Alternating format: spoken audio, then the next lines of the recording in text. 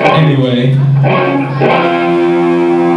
this is Buffer, the best show we ever had on tour, and this goes rock. So this is our last song. I you guys think? go crazy on this one, okay? Okay. Show us what you got.